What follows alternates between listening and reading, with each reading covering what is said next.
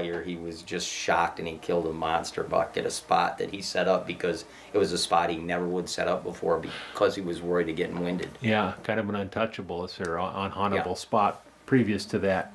Wow. Yeah, he, he basically, I'll, I'll kind of explain the situation. Yes, please. quick. He had a little water hole. This was on, he owned his own property.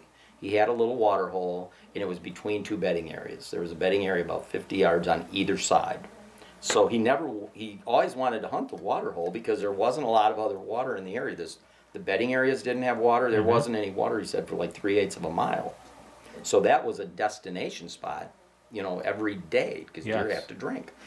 And it had security cover around it. So it had all the things he needed, but he was just afraid if he set something up there, he didn't know which way the buck would come from or bucks. He had two good bucks on his property last year, and he was always afraid if they came from the wrong bedding area, he'd get winded. Yeah. And he didn't want to do that because he had other places that he thought he could possibly get a potential chance at them.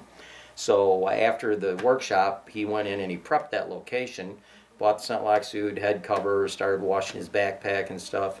And the first day he went in there, I think it was October 2nd, he saw 14 different deer, and they were lingering around, you know, like drinking. They're there for a while.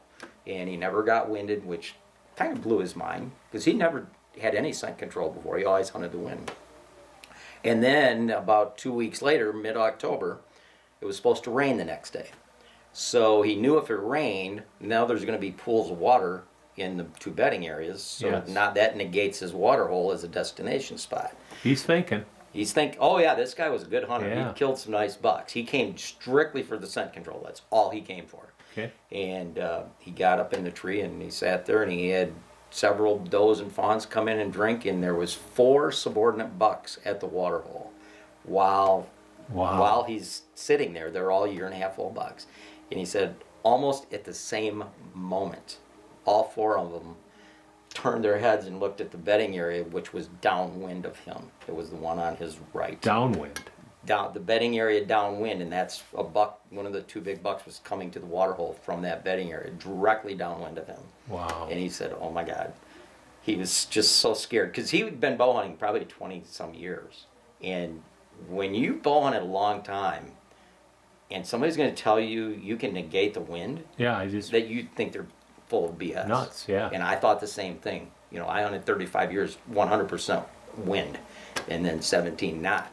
Um, but anyway, that buck came in and he shot it at 14 yards. Oh my. And he was blown away. And he said all season long he never had a deer spook that, from winding him. Wow. He had deer downwind of him all the time. And he said the coup de grace was uh, just prior to the rut. He had this one location that he wanted to hunt in the evening, and he could never hunt it in the evening because he had to walk through a weed field to get to it. And deer would always cross through that weed field, you know, before dark and cross his scent and spook the does. And uh, so he said, you know what? I'm going to try this. And these weeds were just a little over waist high. So he, he carried his bow up over his head, so he made sure his bow didn't touch anything, and he walked through the weeds. And that evening, he had three. He didn't kill anything that evening, but he had three different mature does with fawns cross his route and Wow. never spooked. And he said, "Done." He was like, "I can't believe it. That's it." He said, "There is no way Yeah. on God's green earth that that ever would have happened before." Absolutely. He called me and he, he's got a testimonial on my on my uh, Website. website. Yeah. Wow. And I've got testimonials from the editor of uh, Deer and Deer Hunting, from Mike Avery, from Tom Nelson, uh, from the uh, editor or the executive director of the Pope and Young Club, and Hmm. uh, from the owner of ScentLok. So I've got some really nice industry testimonials on Absolutely. there too. Yeah. But I'll go get that. Okay. price. All right.